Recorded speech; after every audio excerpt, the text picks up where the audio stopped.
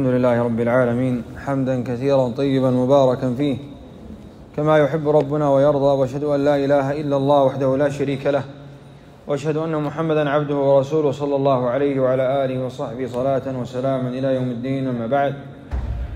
قال حافظ النووي رحمه الله تعالى في كتاب رياض الصالحين في كتاب الفضائل قال باب الحث على صلاة الوتر وبيان أنه سنة مؤكدة وبيان وقته. في هذا الباب استكمل المصنف رحمه الله تعالى في كتاب الفضائل فضائل صلوات النوافل. وفي هذا الباب تكلم على صلاة الوتر وصلاة الوتر هي من أعظم النوافل. وقد كان النبي صلى الله عليه وسلم يحرص على صلاة الوتر في حضره وفي سفره. فلا يترك الوتر لا في حضر ولا في سفر. وكل هذا من العناية بهذه الصلاة العظيمة.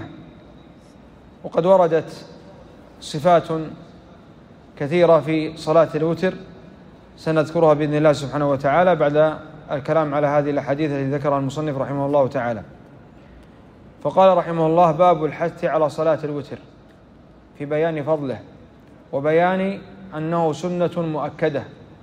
هذا من حيث الحكم. وبيان وبيان وقته. متى يكون وقت صلاة الوتر. قال رحمه الله تعالى وعن علي رضي الله عنه قال الوتر ليس بحتم كصلاة المكتوبة ولكن سن رسول الله صلى الله عليه وسلم. قال إن الله وتر يحب الوتر فأوتروا يا أهل القرآن رواه أبو داود والترمذي وقال حديث حسن في هذا الحديث وما جاء عن علي رضي الله عنه بيان بيان حكم صلاة الوتر. فقال علي رضي الله عنه الوتر ليس بحتم يعني ليس بفرض وواجب كصلاة المكتوبة. ولكن سن رسول الله صلى الله عليه وسلم ثم ذكر الحديث عن النبي صلى الله عليه وسلم. ففي حديث النبي قال إن الله وتر يحب الوتر فأوتروا يا أهل القرآن. هذا أمر من الرسول صلى الله عليه وسلم. والأصل في الأوامر أنها تقتضي الوجوب. ولكن لأن صلاة الوتر ليست بواجبة بينها علي رضي الله عنه فقال الوتر ليس بحتم كصلاة المكتوبة والذي يخرج الوتر على أنه ليس بواجب مع أمر النبي صلى الله عليه وسلم به هو الحديث الذي جاء في الصحيحين عن الرجل الذي جاء يسأل النبي صلى الله عليه وسلم عن الفرائض فسأله عن الصلاة فذكر له النبي صلى الله عليه وسلم الصلوات الخمس. ثم سأله هل في ذلك زيادة عليها فقال لا إلا أن تتطوع فدل على أن ما سوى الصلوات الخمس في اليوم والليلة هو تطوع ومنها صلاة الوتر ولكنه سنة مؤكدة. وهذا هو الصحيح من أقوال العلم لأن بعض العلم يذهب إلى وجوبه. ولكن الصواب أنه ليس بواجب ولكنه سنة مؤكدة لا ينبغي المسلم أن يفرط فيه. ثم هنا في حديث النبي صلى الله عليه وسلم قال إن الله وتر أي إن الله واحد أحد فرد سبحانه وتعالى. يحب الوتر. يحب أن يوتر أهل الإيمان وأهل الإسلام. فلذلك حثهم في آخر الحديث قال فأوتروا يا أهل القرآن. فما المراد بأهل القرآن هنا؟ قيل المراد بأهل القرآن هو جميع المسلمين والمؤمنين لأن القرآن نزل عليهم. وقيل بأهل القرآن هم حفظته وحملته. ولا شك أنهم أولى بالقيام بكتاب الله عز وجل. ولكن هذا الحديث يعم الجميع. فكل مسلم نزل عليه القرآن وهو مخاطب به. فلذلك هذا الحديث حث للجميع على قيام الليل وبالوتر.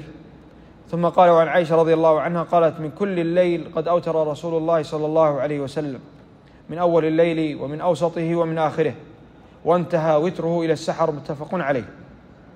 وعن ابن عمر رضي الله عنهما عن النبي صلى الله عليه وسلم قال اجعلوا آخر صلاتكم بالليل وترا. متفق عليه. وعن أبي سعيد الخدري رضي الله عنه أن النبي صلى الله عليه وسلم قال أوتروا قبل أن تصبحوا. رواه مسلم. وهذه الحديث كلها تدل على فضل الوتر وأن النبي صلى الله عليه وسلم كان لا يتركه وكان يأمر به. في حديث عائشة أنه قد أوتر في أول الليل وفي وسطه وفي آخره. ولكن انتهى أمر النبي صلى الله عليه وسلم إلى إلى السحر وهو أفضل أوقات الوتر. وفي حديث ابن عمر وأبي سعيد الخدري رضي الله عنه رضي الله عنهما أن النبي صلى الله عليه وسلم أمر بأن يكون آخر الصلاة بالليل وترا. وهذا هو الأفضل أن الإنسان يجعل بآخر يجعل الوتر في آخر صلاته. لأنه لو أوتر في أول الليل ثم صلى بعد ذلك مثنى مثنى لا بأس لكن لا يوتر مرة أخرى. لكن الأفضل أن يجعل الوتر هو آخر الصلاة. وهنا قال أوتروا قبل أن تصبحوا. أوتروا قبل أن تصبحوا. وهذا فيه بيان الوقت. فيه بيان الوقت. فالوتر يكون قبل خروج الصباح. وخروج الصباح بخروج وقت الفجر الحقيقي. فإذا خرج الفجر الحقيقي انتهى وقت الوتر. ولكن للمسلم أن يعوض ذلك إذا فاته بعد بعد خروج الشمس وارتفاعها وارتفاعها قيد رمح أنه يقضي ما فاته من الوتر ولكن يقضيه شفعا كما كان النبي صلى الله عليه وسلم يفعل. وجاء عن بعض الصحابة رضي الله عنهم أنهم كانوا يقضون الوتر بين الأذان والإقامة قبل أداء صلاة قبل أداء صلاة الفجر. فمن فعل ذلك فلا بأس ومن فعل بعد ارتفاع الشمس قيد رمح وصلاها شفعا فلا بأس. ثم قال عن عائشة رضي الله عنها أن النبي صلى الله عليه وسلم كان يصلي صلاته بالليل وهي معترضة بين يديه فإذا بقي الوتر أيقظها فأوترت رواه مسلم. وفي رواية له فإذا بقي الوتر قال قومي فأوتري يا عائشة. وهذا فيه فوائد. أولها أن المرأة إذا كانت معترضة فليس لها حكم المرور بين المصلي. لأن النبي صلى الله عليه وسلم قال في الحديث يقطع الصلاة المرأة والحمار والكلب الأسود. يقطعونها وهو الصحيح أنهم يبطلونها. يعني تبطل الصلاة بمرورهم. وإن كان بعض العلم يرى أن هنا الإبطال بمعنى إنقاص الأجر. ولكن الشاهد في هذا الحديث أن الاعتراض لا يعتبر مرورا.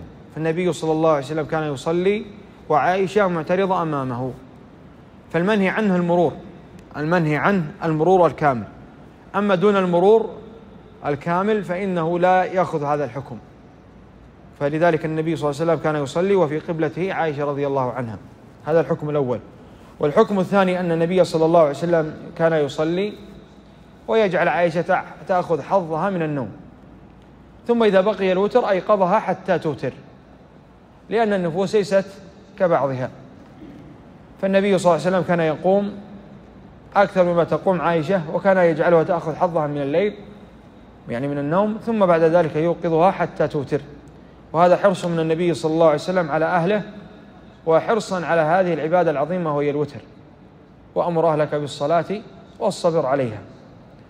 ثم قال رحمه الله عن ابن عمر رضي الله عنهما أن النبي صلى الله عليه وسلم قال بادروا الصبح بالوتر. رواه أبو داود والترمذي وقال حديث وقال حديث حسن صحيح وهو كالحديث السابقة أن وقت الوتر قبل الصبح. قال وعن جابر رضي الله عنه قال قال رسول الله صلى الله عليه وسلم من خاف أن لا يقوم من آخر الليل فليوتر أوله ومن طمع أن يقوم آخره فليوتر آخر الليل فإن صلاة آخر الليل مشهودة وذلك أفضل رواه مسلم.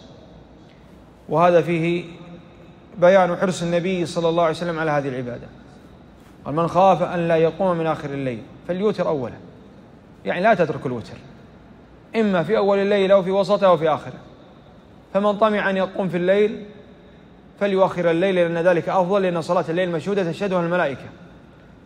لذلك قال النبي عليه والسلام وهو أفضل. ومن لم يطمع في ذلك خشي أن يفوته أو يتكاسل عن القيام فليوتر بعد العشاء مباشرة. المهم أنه لا يترك الوتر. كل هذه الأحاديث تدل على فضيلة هذه العبادة العظيمة التي يفرط فيها اليوم كثير من الناس وهي لا تأخذ منك وقتا كبيرا. فأوتر ولو بركعة أوتر ولو بركعة. لا تترك الوتر أبدا لا في سفر ولا في حضر. إن استطعت أن تقوم آخر الليل فقم إن لم تستطع فصلها مباشرة بعد بعد العشاء مباشرة. وتداركنا كثيرا من مشايخنا رحم الله الميت منهم والحي ومد في عمر الحي منهم أنهم يقسمون صلاة الليل قسمين حتى يخففوا على أنفسهم ولا يتركوا صلاة الليل. فبعد صلاة العشاء مثلا يصلون أربع ركعات ويؤخرون الأربع إلى آخر الليل. كل ذلك من أجل أن لا تفوتهم لا يفوتهم قيام الليل ولا يفوتهم الوتر. فيبادرون بشيء من الصلاة ويجعلون شيئا في الليل تخفيفا على أنفسهم ولكن لا يتركون قيام الليل أبدا. وصلاة الوتر لها صفات جاءت السنة. منها الوتر بركعة. وقد جاء في حديث عن النبي صلى الله عليه وسلم أنه قال من أراد أن يوتر بركعة فليفعل. وهذا الحديث صححه بعض العلم وبعضهم قال هو موقوف وليس مرفوعا إلى النبي صلى الله عليه وسلم. ولكن يشهد له قول النبي صلى الله عليه وسلم فإن خشي الصبح فليوتر بركعة. ويشهد له أيضا فعل الصحابة. وقد أوتر كثير من الصحابة بركعة بركعة واحدة. فهذه هي الصفة الأولى في الوتر أن يوتر بركعة يصلي ركعة واحدة فقط. وجاء هذا أيضا كما أذكر عن معاوية رضي الله عنه. والصفة الثانية أن يوتر بثلاث. أن يوتر بثلاث ركعات ولها صفتان. الصفة الأولى أن يصلي ركعتين ثم يسلم ثم يصلي ركعة. أن يصلي ركعتين ثم يسلم ثم يصلي ركعة فهو الآن أوتر بثلاث. وهذا فيه بيان أن ما يسميه الناس في صلاة الليل الشفع والوتر آخر ثلاث ركعات هذا خطأ.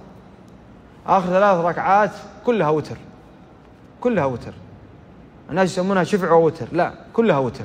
الشفع الذي قبلها المثنى المثنى الثمان ركعات. أما آخر ثلاث ركعات فهي وتر ولكن لها صفتان. الصفة الأولى أن تصلى ركعتين ثم ركعة أو تصلى سردا ثلاث ركعات من غير جلوس إلا في آخرها. ولا ويكره أنه يشبهها بالمغرب لأن النبي صلى الله عليه وسلم نهى عن ذلك. كيف يشبهها بالمغرب؟ أن يصلي ركعتين ثم يجلس التشهد ثم يقوم. هذا منهي عنه. فإذا أراد أن يوتر بثلاث إما أن يسردها سردا أو يصلي ركعتين ويجلس ويسلم ثم يصلي بعدها ركعة لوحدها. فهذه هي الصفة الثانية. أولا ركعة والثانية ثلاث ركعات والصفة الثالثة أن يسرد خمسا. خمسا في تسليمة واحدة لا يجلس إلا في آخرها. والصفة الرابعة أن يصلي سبعا سردا لا يجلس إلا في آخرها. والصفة الخامسة أن يصلي تسعا سردا ولكن يجلس في الثامنة للتشهد ويقوم للتاسعة. صلي تسعا سردا يجلس الثامنة للتشهد ثم يقوم للتاسعة. فهذه خمس صفات ثابتة عن النبي صلى الله عليه وسلم في صلاة الوتر. كلها فعلها النبي صلى الله عليه وسلم. والسنة للمرأة أن ينوع بينها. وهناك صفة سادسة ذكرها بعض العلم وهي أنه يصلي 11 ركعة يوتر في آخرها بركعة. ولكن هذا والله أعلم أن هذا يدخل في الصفة التي ذكرناها في الصفة الأولى والثانية أنه يوتر بركعة وبثلاث لأن ال 11 ركعة التي يصليها النبي صلى الله عليه وسلم آخر ثلاث منها تعتبر تعتبر تعتبر وترا. فهذه صفات الوتر التي جاءت عن النبي صلى الله عليه وسلم في السنة الصحيحة. والله أعلم. صلى الله وسلم على نبينا محمد وعلى آله وصحبه أجمعين.